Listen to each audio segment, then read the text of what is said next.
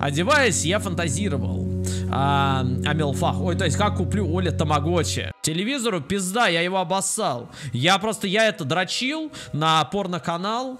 И, и случайно все залил спермой, мам. Весь телевизор просто в малафье. Посмотрите на эти эстетически прекрасные превьюшки. Нет, да их поярче бы сделать, было бы хорошо. Хотя может сделать то, что у меня солнце бьет в окно. Орлики, здорово! Это Юлик, он вернулся, он вернулся на YouTube. Мы с ним когда-то даже стримили вместе, и он вернулся. Мне очень нравятся вот эти пюшки, особенно вот это. А даже чем-то эротично. Не, они все довольно эротичные, особенно вот это вот. Слушай, у меня аж писюн немного встал. Не, ну вот это прям самый сок. Ой, это мой любимый Антон Плакса, блядь. В общем, ссылка в описании. Передайте привет Юрику от трех лиц. Слушай, а чё, а чё, чё просмотров у него так много на... Я не понял. Сейчас оставлю ему привет от трех лиц под видео, ссылка в описании. Ля какой кролл опасный. Орлы, это мини-кролл. И я знаю, конечно, что Куплинов уже прошел. Игнорировать. Но я еще не прошел. Это я к чему? К тому, что спасибо тому, кто мне на стриме напомнил, что я не прошел. Так, игра что заново начинается? А сохранялся я, извините, ради чего? Он очнулся! От пламени адского пожара. Орлы, вот мы закончили с вами здесь. Давайте попробуем еще раз засейвиться, просто посмотрим, сработает ли. Может, сейв какой-то глючный получился. Удалить. Вы уверены, что хотите? Уверен. Я согреюсь на другой слот. Я не знаю, что это поменяет. Но, в общем, мы продолжаем играть дальше, орлы. В зайчика, в кролла. Вот почему утром мне совсем не хотелось смеяться о доле этой ее совой. Вот именно поэтому, потому что на меня волчара напал. Волк позорный. Кстати, он со спины, он больше на Шурика похож. Спереди, ну, по-другому он выглядел в том мультике, который нам показали. Кто мог прийти к нам в этой глуши? Мы ведь здесь никого не знаем. Хватит названивать, господи, что-то так нас настырные какие. От нелепой мысли, что утренние гости пришли прямиком из леса, стало особенно неуютно. Слушай, а у меня что-то словарь здесь лупится. Бабай. Ты я знаю, кто такой Бабай, отстаньте. Я не знаю, обидно, что... Э, это только у меня такая проблема с сохранением. Это просто обидно, понимаешь, ты играешь, и у тебя сохранение так берет и... Берет и через колено тебя, и ты такой, а, не надо, я, я все сделаю, что скажешь. В прихожей зазвучали неразборчивые пожилые голоса каких-то дедов. Подмывало подмыться. Ну что вонял? В шкаф, под стол, за занавеску. Куда любит прятаться Оля? Подойди-ка сюда. Твою мать, это из школы, наверное, мама, я домашку съел, съел волк, я ничего не делал. К ногам словно гири привязали, я поплелся в коридор. Ля, это полиция. Два милиционера возвышались на пороге. Ля, это СССР, получается. То есть, если милиция, получается, мы в стране СССР. Еще то... Ой, Юла, в детстве у меня Юла была такая, да. Если кто не знает, Юла это такая штука, ты вот жмешь сверху, как насос. Такой, и она крутится и делает... Типа она поет, пока крутится. В чем прикол? Да хрен его знает, но, типа, у меня она была, если не помню, играл, не играл. Ну, типа, прикольно. Типа, она крутится и делает... А так, на самом деле, хуета. Так, два, в общем, милиционера, да. От них пахло морозом и тревогой. Мама, завидев машины с михалками, обычно кривилась и ворчала хуже бандитов. Но сейчас она выглядела несколько растерянно. Вот тут, моя, знаешь, как хуже бандитов, а когда что-то случилось, кому ты пойдешь правильно? К дяде милиционеру. Здравствуйте. Здорово, чел, ты... Да. Старший по званию мрачно Тут мальчик вчера потерялся. Вовой зовут.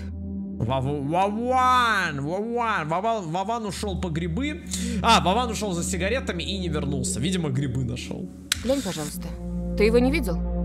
Что за мальчик? Я, блин, я не знаю, второй день. Тут никого не видел, никого не знаю. Вообще страшно. Милиционер протянул мне пожилую фотокарточку. На ней был изображен некий Вова. Мне нравится эти анимации, классная новелла вообще. Рыжий паренек лет 8 был запечатлен на фоне ковра. Ну что самое главное. Он держал в руках полосатого котика Барни и широко улыбался, потому что котик пока еще его не оцарапал. Нет. Точно? Посмотри внимательнее. Это репетура, это голос очень похож на Гейзенберга из э, Resident Evil 8. Где мне его видеть? Я тут никого не знаю. Да и из дома-то почти не выхожу. Действительно! Почему Гейзенберг? Что здесь делает Гейзенберг? А может, видел в окно? В окно у меня мальчики постоянно перед окнами прям бегают. Не, у меня, кстати, серьезно бегают и мальчики, и девочки вообще все бегают перед окнами. Да, у тебя ведь окна на лес. В окно? Нет, не видел. Ну, Я там только видел монстров всяких гоблинов. Ясно. Хуясно. Голос его был усталым, а вот взгляд долгий, невыносимо тяжелый. Он смотрел на меня так, будто в, будто в чем-то подозревал. Да, слушай, он так на тебя смотрит, типа тебе, тоби пизда. Вот такой взгляд это. Я вижу. Его тень падала на меня, и невольно сутулился под весом смутной вины. Наконец-то, оторвав от меня взгляд, милиционер бегло осмотрел прихожую, лестницу и трещины на потолке, которые я почему-то до сих пор не Вы, замечал. кстати, как на новом месте? Попривыкли уже? Понемногу. Только вот дочка маленькая по городу скучает. Эх, бывает, я бы по городу тоже скучал. Не люблю все эти деревенские э, эти. Скучает, значит. Из местных вас никто не беспокоит? Скучает, значит, так-то ска- он как-то сказал, это странно, не знаю. Ну, местные животные, местная э, фауна меня беспокоит, но я боюсь, тут не милиция нужна, а экзорцист. Ну нахер. СПС, братан, нет, ты, ты мне не нужен. Серые глаза милиционера вновь. Кстати, насчет есть вот игра скоро выйдет милиционер, где чел такой, типа, здоровый, следит за какой-то деревней. Буду ли я в нее играть, спросите вы на стриме спрашивали. А вот буду, кстати, комменты самые топовые. Ну, я знаю, что мода немножко прошла вот на эти комменты из предыдущего видео в это, но если вы напишите что-то остроумное, оно попадет, как видите. Вот эти люди, которые мелькают тут в- по протяжении видео, они как-то попали в это видео, они заслужили свое место здесь. Может, вам помочь как-то? Я спросил, не уверен, что показать себя воспитанным мальчиком, просто скорее закончить неприятный разговор. Я чувствую, сейчас они что-то, не знаю, базлятся. Я вот стою и думаю, А чё ты, блин, ты, думаешь? малец, на племеша моего похож. На пельмеша. Я послышаюсь, я на пельмеша похож. Было бы забавно, если бы он сказал, малыш, да ты на моего пельмеша похож. Я с утра ел пельмеши эти. Вот тебя бы сейчас взял и съел, еще бы он облизнулся игриво. А так. Вот это было бы смешно. Шустрый парнишка твоих лет. С такими же окулярами. Все Окуляры. книжками зачитывался. Детективами. Хотел стать полицией, а в итоге попал в милицию. Когда летом погостить приезжал, говорит, что в школу милиции мечтает поступить. М, милиционер. М, начинающий молодой мент. Как я. Хотел людям помогать. Смекаешь? Людям помогать. К сожалению, полиция не всегда помогает людям. Нет, функция у нее, конечно, такая, но вот в реальности, к сожалению, вот не всегда складывается так, как хотелось бы, да, понимаете? Мне стало неловко, будто передо мной стал не участковый, а кто-то из дальних родственников. Ну, кстати. Ох, ребятушки. О-о-о. Сидите-ка вы лучше дома. Не ввязывайтесь ни во что. Жизнь сейчас совсем другая пошла. Да да так все время на самом деле говорят, что жизнь не та, люди не те. А что? А когда вообще? А когда было? А когда жить было хорошо? Я не знаю, никогда. Не, хотя, хотя не, бывают периоды лучше или хуже. Вообще, обычно, когда смотришь назад, ты часто понимаешь, что раньше было лучше. Понимаете, чтобы понять, что раньше было лучше, нужно пожить сейчас. То есть всегда так кажется, что раньше, вот, а когда-то раньше было лучше, а сейчас типа хуже. Но это не вся так. Просто бывает, что в сравнении тебе кажется, что вот сейчас хуже, лучше, но это именно в сравнении. Вообще, если, если раньше было лучше, то вопрос, может, что-то сделал неправильно, и почему сейчас стало хуже. Такие вопросы нужно задавать. Но, к сожалению, такие вопросы задаю только я и Евген, потому что я ебанутый. Мамин голос был, так сказать, немножко а, холоден. Что Мне он сказал? Блин, мам, не умничай. Ну да ладно. Ты, Антон, в каком классе учишься? Я, я не учусь, я уже работаю. Я инженер, В строитель. шестом. Ты на новом месте еще не завел? Какие друзья? Кому я, кому я нужен, блин? Кому я Пока нужен? нет. Я только после каникул в школу пойду. А, ну, в принципе, Тогда вот понятно. вам на всякий случай мой номер. Звоните, если... если узнаете что. Ок, обязательно. Мне будет скучно, я тебе позвоню, скажу, дядь милиционер, ты к нам заходил. Дядь, мне скучно, го говорить, го пообщаемся. Милиционеры ушли, унеся с собой тени, запах дешевого одеколона и фотографии улыбающегося. э, Четыре пацана. Но, но его лицо все еще стояло перед моими ебанутыми глазами. Я думал, каково ему сейчас там, совсем одному милиционеру или мальчику? Кому из двух? Потому что милиционер вроде было два, а вроде один. Непонятно. Та- там почему-то я представляю лес, качающийся на так называемом ветру. Как его, каково его бедным родителям? И что бы делали мои, если пропал я? Плакали? Бились в истерике? Я думаю, они бы нового просто ребенка сделали, типа, на, про тебя забыли. Или обвиняли бы друг друга, как обычно, а со временем Мам, вовсе забыли. а Вова этот в нашем лесу заблудился? Нашим, не нашим, уже плевать, он умер. Выходит, что так. Бедный ребенок. Я вы- выглянул в окно на дорогу. Милицейский УАЗик укатил по дороге в деревню, ковыряя рассолившуюся краску подоконника. Я почему-то подумал о племяннике участкового. Тут же вспомнились детские детективы из серии «Черный котенок», которые я сам ч- прочитал за лето. Что- Так, сейчас вот «Черный котенок», ВАЗик — это советский российский грузопассажирский автомобиль повышенной проходимости, внедорожник. Пускается на Ульяновском автомобильном заводе. Видите, Ульяновск — город знаменитый, там автомобили делают. А «Черный котенок» — серия книг современных российских и переводных детективов для подростков. То есть это двухтысячные. В них обыкновенные школьники расследовали разные таинственные дела. Тайна! Скуби-ду! А после захватывающих приключений, бац! И раск- раскрывали запутавшееся в меня в трусиках в моей модне э, дело. Как-то так. Становились местными знаменитостями и должно быть или не быть, э, и родители ими страшно гордились. Или нет, родители все время парились, думали, блин, вот занялись бы нормальным делом. Нет, они там какие-то расследования проводят. Я заметил оставленную милиционерами цепочку следов, ведущую в лис. И тут в голове будто щелкнуло. А почему не начать собственное расследование, не стать супергероем? Может, найду пропавшего мальчугана паца- пацана, а там награду дадут. Вот Оля обрадуется. На награду съест, если это будет шоколадная монета, ее сожрет сто процентов. И только Оля, мама с папой. Не, они, блин, будут говорить, что типа, сынок, ты нас так напугал. Мы-то думали, ты делом займешься, нормально работу устроишься плотником. А ты детективом стал, пиздец. Людей спасаешь, пиздец. Сто процентов бы было так.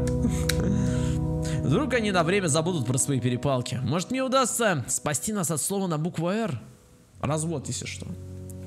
Одеваясь, я фантазировал а, о мелфах. Ой, то есть как куплю Оле тамагочи. Так, Саш, самое время для вставки, а то люди жалуются, вставок нету в видео. Саш, давай вставку прямо сейчас. Хорошо, Евген, какую вставку сделать? Да ту самую, ну тамагочи, ну подумай. Тратит свои силы, ведь он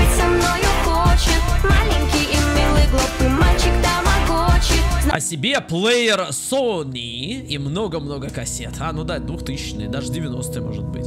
А еще целую коробку Kinder Surprise, motherfucker. Как последний раз родители покупали нам игрушки? Когда были деньги, сынок, а денег никогда не было! Ты в России живешь, забыл! Осенью, кажется, а папа потерял работу, ту самую, которая пелась навязчивой песне. А что за навязчивая песня? За песня? Бухгалтер. Песня советской женской поп-группы «Комбинация». Саша широко известна в начале 90-х. Э, Я смутно представляю, чем занимаются бухгалтера. Считают деньги вроде. Не, ну так правда на самом деле. Да, деньги считают. Сынок, ты, ты молодец, ты угадал. Раньше соседи завидовали нам. Теперь родителей едва хватало на сладости. Один шоколадный батончик папа делил поровну. Мне и Оле. Тот момент, когда ты делишь картошку фри с женой поровну себе, то есть е- ей и ей и ей всю картошку. Бывало, ладно, шучу. Хотя нет, ну мы реально на делим картошку, а что? А почему нет? Зачем нам две картошки, если можно одну поделить? Логично, абсолютно. Бывало, я отдавал ей и свою пирцию. Как бы сильно мне не хотелось сладенького деду. Она же малявка. Не терпелось скорее отправиться Пойду на поиски погуляю. улик. Улик. Ага, сейчас. Че она такая, я не понимаю, что с мамкой, че она злая? Почему мать все время злая? Я не знаю, у меня все время такие ассоциации, что родители, они вечно почему-то злые, недовольные, вечно ничего не разрешают. Ну, то есть, у меня были, ну, может, не совсем такие, но не знаю, у меня именно такие ассоциации с родителями. И ведь ты думаешь, что почему-то до того, как они были родителями, они были нормальными людьми, а потом стали какими-то другими. Чтобы потом милиционеры с твоей фотографией по домам ходили. Лес вон какой густой. А если мальчика звери дикие утащили? Или того хуже? Того хуже принеслось Да эхом я по рядом коридору. буду. В лес не пойду. Там маньяк, наверное, в лесу ходит, да? Там маньяк-дрочер ходит в лесу, детей любит. Осуждаем подобное. Вот если что, Антон, возьми заточку и проткни ему его дрочила, чтобы больше не делал этого. Что я тебе сказала? Мне дважды повторять? Да. Лучше портфель собери или соли поиграй. Портфель собери, а если портфель уже собран, что делать? Через секунду на кухне зашумела пожилая водичка. Возможно, мама писала в раковину. Это означало, что спор окончен. Последнее слово остается за мамой. На кухню, во двор. Ох ты, выборы, выборы, кандидаты. Неважно. Так, посмотрим. Выборы. Выбор. Что вы выбрали? Давайте, орлы. Что мне выбрать в следующей серии? Вот что никто не выбирает. Я хочу открыть, естественно, то, что секретка. Темная душная кладовка. Душнина. Фу, как Resident Evil. Душнина. Ну, а мне нравится вот новый Резидент. Я на максималке именно поэтому и прохожу, что как-то запало в душу. Все время думаю, что может хоть сегодня перерыв от, э, от стримов на максимальной сложности. Но не могу, я просто, ну, хочется пройти, хочется дальше играть. Серьезно, очень восьмой резик очень зацепил. Вот я играю в четвертый резик, мы на макс сложности играли. И даже за сюжетом следить-то не особо хочется, потому что все все сюжет уже знают миллион раз. А, хочется именно играть, сложность, перестрелки, вот это вот все. Мама говорит, ну ты пахнет, э, пахнет подмышками, но откуда ей знать, как они пахнут? И ужасно не нравится, когда Суис туда боится, что порежешься лезвие недавно заточенного топора. Как можно это? Нужно на топор прыгать 28 раз, чтобы порезаться. В общем, чел. э, А Олю вообще не заманишь в кладовку. Считаешь, там живет бабай. Я как пытался побороть ее страхи. от- Отворил дверь, включил тусклую лампу. Мол, смотри, ничего нету, только п- п- паутина. Папины инструменты и старапанные стены. Не поверила. А мне нравится прятаться в шкафу. Слушай, как Оля считает, он же 3-4 раз. Я сейчас буду флейсить под хардбас. Саш, можно сейчас ставку тоже сделать с хардбастерами какие-нибудь там, это типа XS Project или еще что. Хорошо, Евген, сейчас сделаю.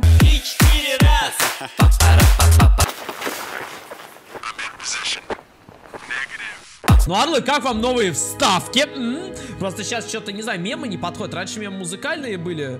э, У нас были свои мемы, типа танцы в моей кровати. Но сейчас что-то, ну, нету таких. А мне нравится спрятаться в шкафу. Слушайте, как... А, это мы уже... Я уже спрятался в шкафу. В кладовке, так сказать. Давайте на кухню к мамке сходим. Обмануть. Открыть. Хочу открыть. Океан. Так, посмотрим, что тут. Таблетки какие-то.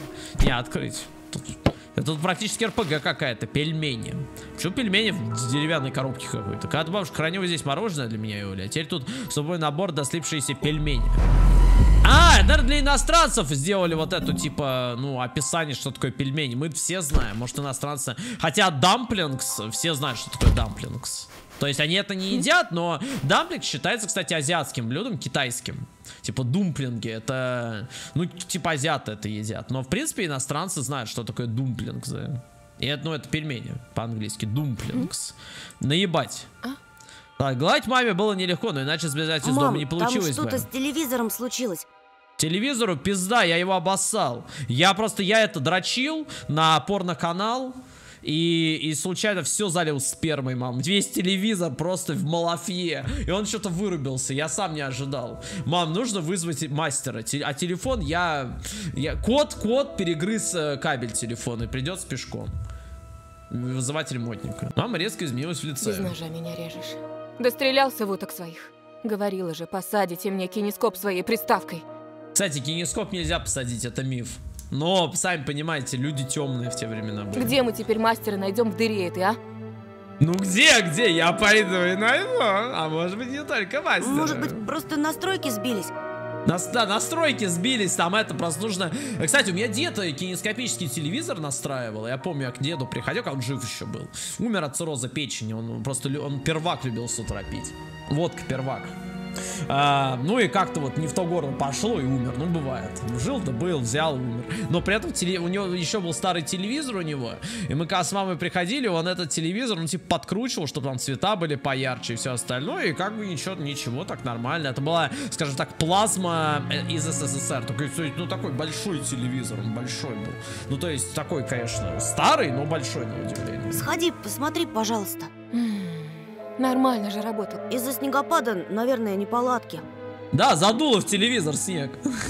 Мама вытерла руки, а фартук и хмурясь отправились в комнату Алямбы.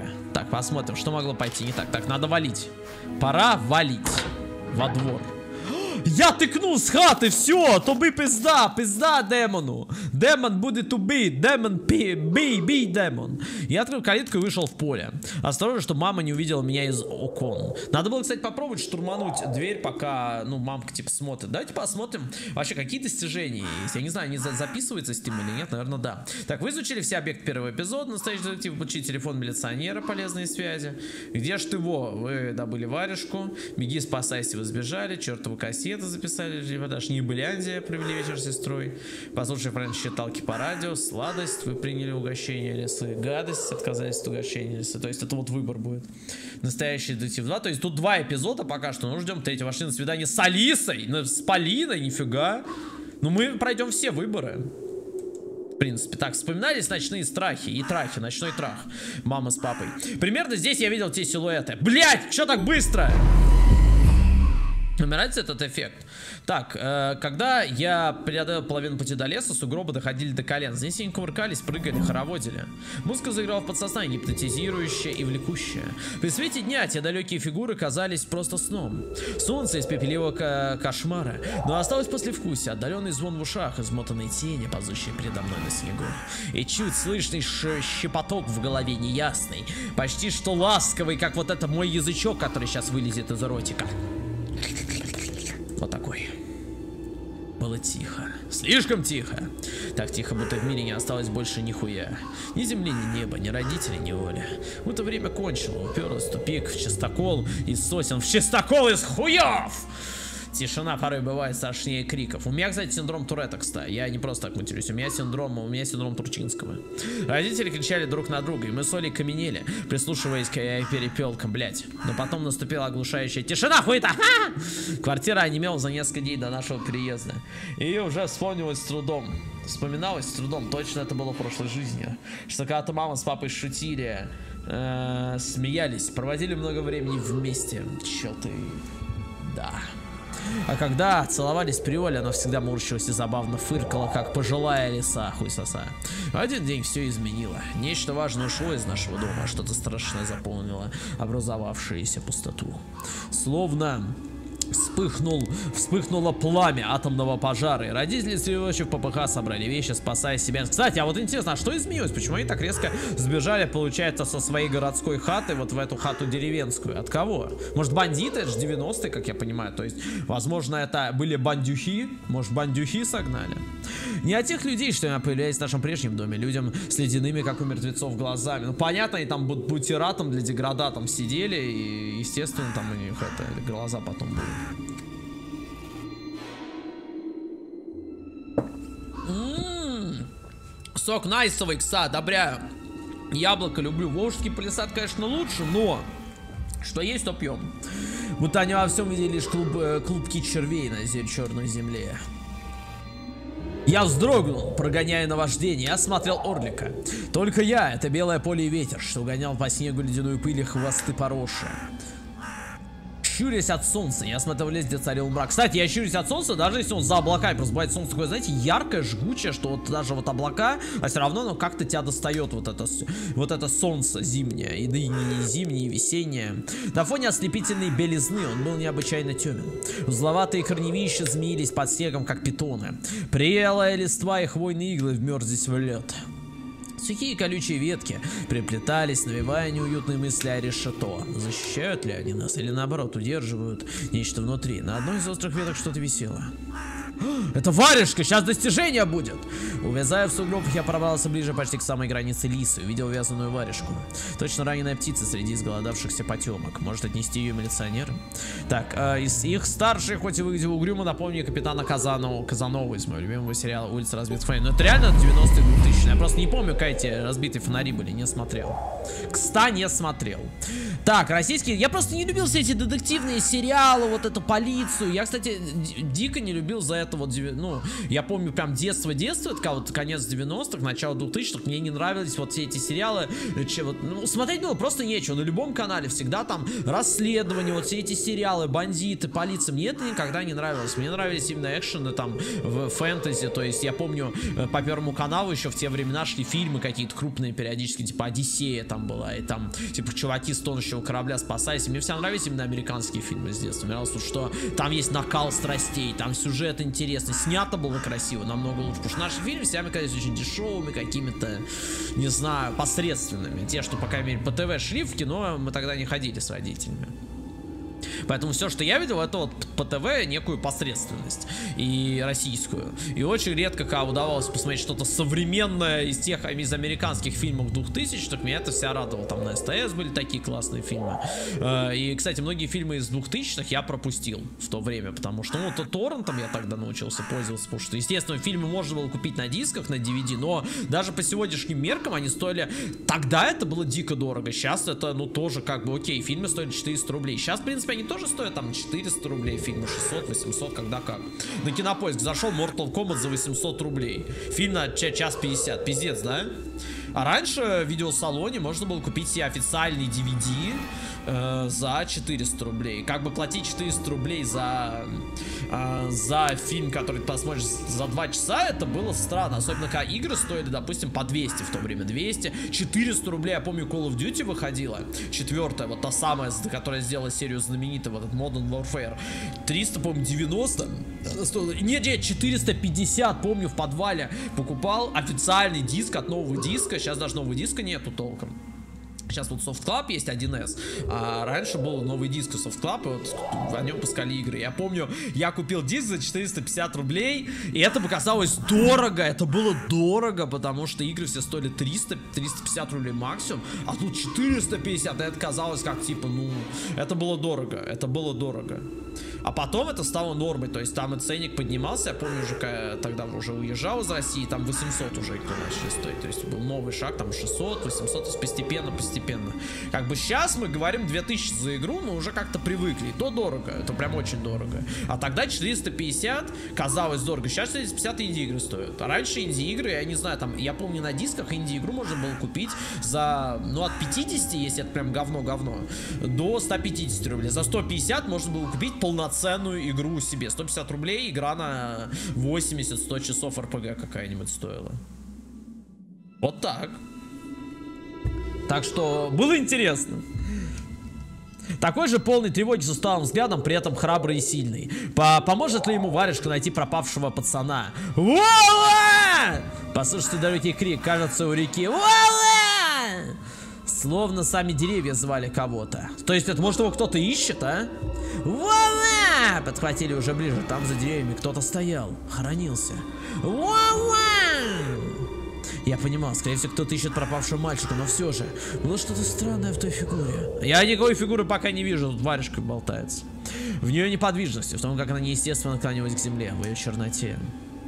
Там никого нет, лишь ветки и корни. Просто мое воображение. Где-то громко захлопали крыльями птицы. А дерево одел из тени, скрылось из виду! Я на секунду отвлекся, а вновь посмотрел на то же место, фигуры уже не было. Померещилось, что ли, Евгену? Долго, очень долго стояла тишина. Где фигура? Мускулы мои были напружены, сердце грохотало в горле. Любой шум, малейший намек на движение, щи, э, щепоток из чащобы. И я брошусь бежать щепот. Может, шепоток? Странное словника, такой шепоток какой-то, твою мать. Выдумаю, блин, слова. Потом мучайся, сиди. Но ничего не происходило. Я вновь посмотрел на варежку. Убежать, взять. Взять! За это достижение дадут! Я принял решение снять одинокую варежку с ветки. Это... это... Пиздец! Их несколько! Вовен! Чувак, тебя убьют! Тебя убьют! Крик прокатился по полю и расселся вдали без эха, без надежды на отклик. Нет, тыкай нахуй, они близко! Тыкай нахуй! Тыкай! Тыкай! Тыкай, бери, тыкай! Шагнув к ощетинившим деревьям, я пытался снять свою находку. Она не поддавалась. Я потянулся сильнее, ветка хрустнула, варежка с чавкающим звуком. Монстр оторвалась от, суч- от сучки и осталась у меня в ручках, слишком тяжелая, мокрая. Я невольно жал ее, на снег тонкой струйкой появилось что-то темное. Но сугробом заклубился пар.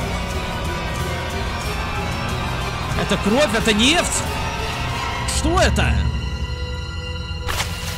Я замер с отвращением, разгадывая ладони, красные. Это хровяк, и его съели!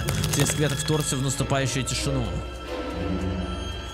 Раздумывая, бросился прочь! Тыкай, тыкай, хлопай, стопы пизда!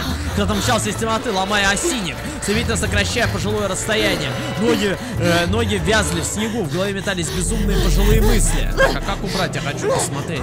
Смотри, как бежит, как тыкает! Спорт, видишь, он спорт! Ноги вязли снегу, в голове метались безумные мысли. Сейчас хватит, сапают! Удача чаще навсегда! Это был другой голос, наверное, голос разума. Он придавал силу, ускорял бег. Ты сможешь, я останавливайся! Сзади раздался звериный рык! Штурм что заложило. Казалось, рычит не одна голодная тварь, а целая стая. Та тянет ноздрями морозный воздух и чует мой трах. Сверху захлопали два гигантских крыла. Это был птеродуктиль. Это был монстр из Resident Evil 8. Кушать не просим. Огромная тень пронеслась над поляной. Что-то заухало, захрипело. Это была бешеная дикая сова. Теперь же рычали со всех сторон. Из сухого малинника, из-за перекупленных э, акций, из-под бурелома. Быстрее беги, не оглядывайся! Словно в дурном сновидении, снежная поляна стала вязкой, как зыбучие пески. Я топтался на одном месте, вырывал ногу из рыхлой ловушки, чтобы попасть в следующую, еще более глубокую. Я продолжал тут, слушай, а по, по виду как будто флэш бежит. А, погружаясь глубже с каждым отчаянным рывком. Разве снег умеет так держать? Я запя от ужаса, сообразив, что это не снег. Что? Кто-то в сугробе схватил меня за штанишки, в которые я пописал. От страха, собрав все в кулачину, я рванулся вперед. Давление исчезло, и ботинок выскользнул из ямы. Подошва оттолкнулась от твердой поверхности. Одним прыжком я достиг расчищенной тропинки, оттуда помчался к дому. Его угрюмый фасад уже не казался враждебным. То был моей защитой от хлопающих крыльями теней, от ползущих по снегу существ. Возможно, что это его воображение, и нихуя там нет. Ну, как бывает, знаешь, когда ты литл, как бы, когда ты бэйби-бой, ты начинаешь видеть всякую хуйню. Я столкнулся о порог и врезался в дверь. Э, э, в ППХ разли- различил на ней царапины. Словно пес бил лапами по дереву, требуя, чтобы пустили погреться. Хотя на прогулку не заметил рыков. Тут сердце в ушах, за ушах прыгает. То есть кто-то реально тут был, кто-то реально ломился в хату. Я не слышал, идет ли кто за мной. Что если она уже в дворе? Мама заперла дверь. Я закрыл мой страх, дернул ручку, та покорно поддалась. И я оказался в хате. Я валился в коридор, тут же захлопнул дверь. Доски крыльца тихонько запи- запищали. То преследователи поднялись по ступенькам. У меня соскальзывали пальцы, никак не получалось защелкнуть замок. Стиснув зубы, я дернул железный балдашник, загоняя запор в проем планки. Я таращился на дверь за преградой, тонкой, жалкой, бесполезнее одеяло кто-то стоял. Хриплое дыхание проникало в дом и накатывало волнами. Отчетливо пахло хвоем и потом. Мама выглянула из кухни и бесстрастным голосом, как часто говорил с отцом, Что отчеканила. конкретно тебе не ясно в просьбе не хлопай дверьми? Я... я случайно. То есть ей похуй, что я вышел из дома? Ясно, мать говно. Я обкосился на пожилую дверь. Запах исчез, мне с ним и дыхание. Там, правда, кто-то дышал. Здесь, в пяти метрах от мамы, страх понемногу ослабевал, таял, как снежок в тепле. Вместе с ним и остатки сил. Мне кажется, это воображение. Это было воображение! И всего-то. Ноги подогнулись. Я уперся в стену, чтобы не плюхнуться на пол. Вдруг мое лицо изменилось. А видимо поняла, что я обосрался. Так всегда. Вначале мамка обосрет тебя, а потом мамка будет жалеть. У меня так было, когда я болел или кашлял. Вначале мамка типа обосрет, что опять заболел, потому что я часто болел. Ну как часто? Э, на самом деле я вполне нормально болел по несколько раз в год. Это, ну типа норм было. Ледяная маска строгости и отстраненности мигом слетела. Мама ста- стала... Плюс чат... А, у нас не стрим. Ставь лайк, если у тебя мама такая же точно. То, что ты начинаешь кашлять, или там ты болеешь, и мамка вначале, вначале, не знаю, ты бомбит на тебя, а потом жалеет. Ледяная маска... ма- маска! У меня маска! Маска! Я масочник! Да, на мне маска! А ты как хотел, другалек, на мне маска. Ледяная маска строгости и отстраненности мигом слетела с лед маски. Ха, это был слет маски от мамки. У мамки маска слетела, маска ебаная. Мама стала такой же, какой была до всех этих ссор. Наконец-то она увидела мое состояние. Мои облепленные гвозди, гроздями снега Ты мокрые был? штанцы. Я тебе что говорила, а? Чтобы ты дома сидел. Я и для тебя пустое место. Ты никто. Ты грязь под моими ногтями. Поняла? Я испугался, что она расплачется. Потянулся к ней, как в детстве, когда просился на руки. Но мама успокоилась и вновь стала прежней. Ну, то есть нормальной, то есть злой. Глаза ее блеснули сталью, У отца зазвенел. сигареты пропали. Признавайся, ты их стащил? Курить бегаешь? Не. Моя младшая сестра курит сигарет. Слушай, а у отца сигареты пропали. Может, у него любовница их забрала, а? Как думаете? Там, там за мной кто-то гнался. Я думал, меня... Пытаясь все объяснить, я начал заикаться, как будто у меня был турет. Слезы подступили к горлу. Мама склонилась и обнюхала меня по-звериному, выискивая запах табака. То есть все, что ее интересует, это курил я или нет. А то, что мне страшно и плохо, и то, что я... э, это, это насрать. Типичная мать. Потом хмуро прищурилась и с недоверием посмотрела во двор. И тут же, изменившись лице, прикрыл рот ладошкой. Прямо у забора. Кто? Сердце лихачно забилось, будто я снова был добычей, и загонщик преследовал меня в поле. Я готов был поклясться, что кто-то заскребся в дверь, точно как в моем кошмаре. Мама поманила пальцем, и я кое-как, набравшись смелости, выглянул в кухонное окно в лицо своему страху. А что там было? А что там было? Вы узнаете в следующей серии, орники! Вбей! Вбей нахуй! Увидимся в следующей серии. Что-то игра начинает заводить меня. Вот я жалею, что я ее упустил. Надо чаще заходить в гости. Куплю новую на канал, чтобы не пропускать контент. Всем спасибо за просмотр. Спасибо, кто игру просил. Всем пока. До следующей серии. Я не знаю, когда она будет. Буду стараться снимать регулярно. Тут просто этот резик-презик вышел, сами понимаете. Некогда было снимать, да? Но я, ну, вы же понимаете. Конечно, вы понимаете. Всем пока. Всех люблю. Целую, обнимаю, няшу вас очень нежной любовью. Всем пока.